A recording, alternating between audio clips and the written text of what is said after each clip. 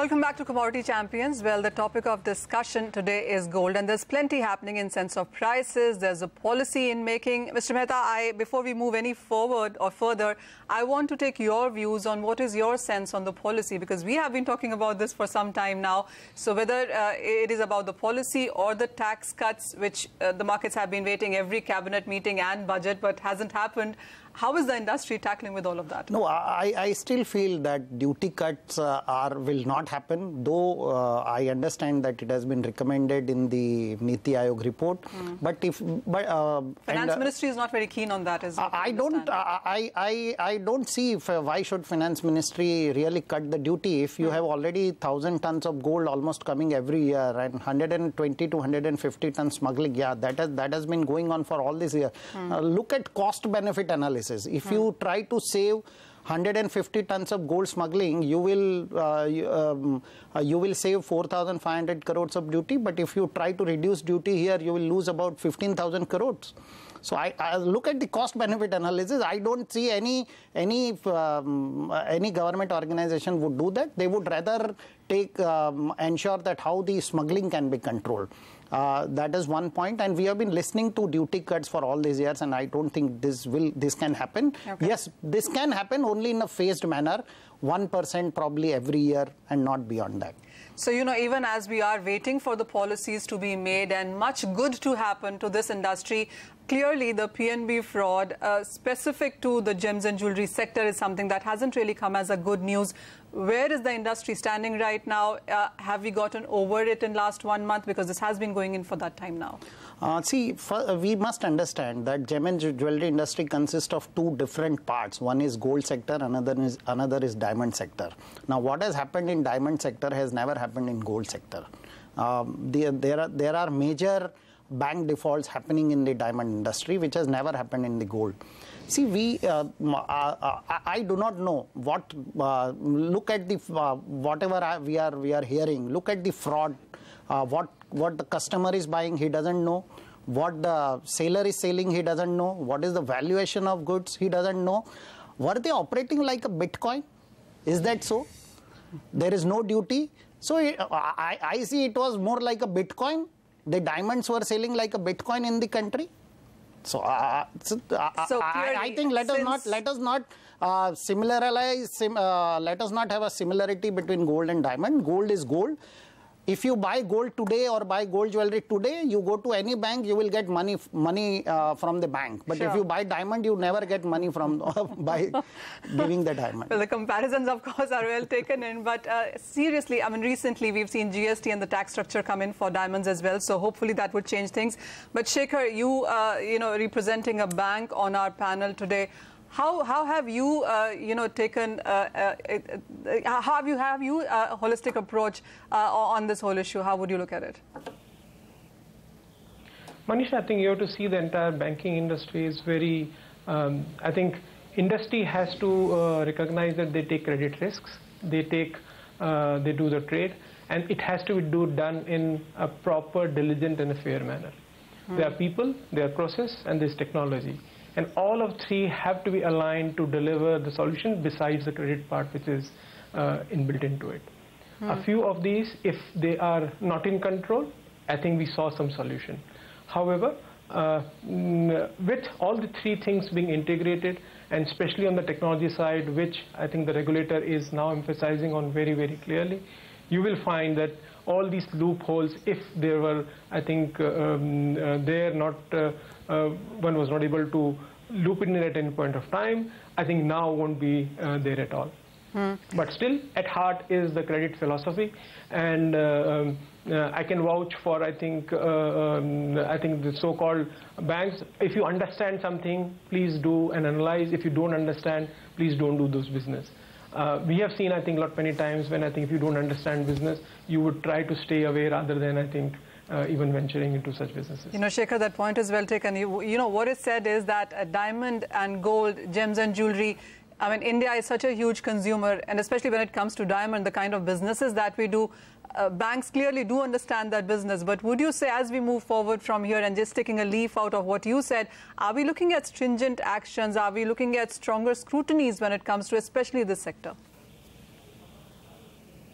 I think it was always supposed to be a, a, sector which has to be looked in, I think, a bit more uh, with the scrutiny. If people have to, uh, what doing it or not doing it is one part because if you don't understand valuation of diamonds, I think you can't trade in them. If you understand valuation of gold, can you trade in them? I think actually this is what is required on part of all the parties which are involved in the trade. Fair point that. Well, you know, I also want to talk about on uh, where does the business stand right now and what is the growth going forward from here. And uh, Chirag, you clearly look at all of those numbers from where we stand and what we are being promised in sense of policies, etc. Where do you see the Indian consumer moving on from here? I think, uh, you know, uh, clearly we are fairly uh, positive on the demand outlook for India in over the next four or five years mm. time, and, and there are multiple reasons for that. And uh, uh if you believe, uh, you know, the gems and jewelry industry is coming out of, you know, various regulatory changes, and we see that now all the, you know, whatever has to happen has already happened. You know, now things are going to become much more positive. Yes, you know, this, you know, the PNB case is a sort of setback, but I think there is a lot of positives which will will come out of this thing. Having said that, I think there are two, three very important aspects. And, and what we believe is that the, given the fact that Indian economy is going to grow, uh, you know, uh, at a rapid pace, and we've already seen GDP numbers which are fairly strong. The per capita income is growing. That is likely to support, you know, the gold demand in India. Another aspect which is very, very important and probably to look at is that we, uh, you know, Indians like when gold prices are going up. Mm. You know, they like a rising asset, and mm. especially you want to buy gold, you know, when it is going up. And I think clearly the fact that you know the price outlook is much more positive over the next two or three years okay. that will also help Indian demand. And one more thing, you know, uh, the fact that you know government is uh, you know probably we can debate on this whether the one and a half times MSP how it will work out, when it will work out. Hmm. But the fact that the government is actually thinking about that and the reason that 60% of Indian demand comes from rural India, hmm. I think it's a fairly positive step for you know the gold industry. Sure. So uh, overall, if you look at you know we believe at least uh, you know 7% jump in gold demand in 2018 hmm. and another CAGR 5 to 8% jump in demand till 2020. Hmm. So we are overall uh, fairly positive. Yes, we don't believe that we'll return to 900 tons of gold demand, hmm. but I think we are moving towards 780, 850 tons. Okay. Mr. Mehta, what is your sense and where do you see the major demand now coming in from? Of course, with the rural India's income being doubled, uh, and if we reach there, uh, do you see much of that demand emerging from that? Yeah, definitely. See, look at the GDP numbers. Uh, uh, look at the uh, look at the per capita income rising in the country. Hmm. So I, I see fairly good demand, and with uh, an, with a lot of good crops and mm, pay commission rise, all these things will really lead to a good demand in the country. Hmm. I, am very positive about the demand. Hmm. Shekhar, this one is to you. So while we are expecting a demand increase now, uh, India also is a place where we only see physical buying coming in. That in turn, that also has seen a bit of a decline in last many years. The paper gold buying, whether it's a gold monetization scheme which the government wants to revamp or the ETFs for that matter, haven't done so well. So of course, with the gold bank coming in and so many more proposals henceforth may give some support. But where do you see the demand coming in from, and what is the sector that the government also needs to push for this demand now? Uh, Manisha, I think I will uh, have the demand bifurcated into two. Hmm. One is the investment demand, and second is the jewelry demand.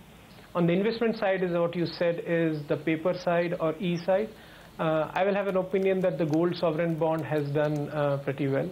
I think it has been one of a good uh, product, very well packaged, very well marketed across. And I'm happy that when I see the number of uh, customers, which generally now runs in millions, in terms of customers who are customers of um, uh, sovereign gold bond. Sure. Now comes the other part, which is the gold monetization side and etc. I think there is a good amount of work which is required to mop up that side of demand when it comes to the banking sector. On the jewelry side, I, uh, I tend to agree. I think uh, that there is a demand which will continue. Uh, the GDP growth uh, will give a lot of impetus to that part. So as a part of the entire section of savings, some part will come to gold as well. Will the savings grow in line uh, with what has happened on the uh, non-gold savings? Hmm. I expect non-gold savings, especially the financial savings, to significantly rise okay. uh, vis-a-vis compared to the physical savings. All right. So on that bullish note, thank you, gentlemen, so much for joining us. Well, there are policy reforms coming in. The gold demand is expected to go up. The incomes, etc., are increasing. So you might see actually demand coming in from various sectors. That is something that we will keep an eye on. But with that, that's the, all the time that we have on this edition of Commodity Champions. Thank you for watching.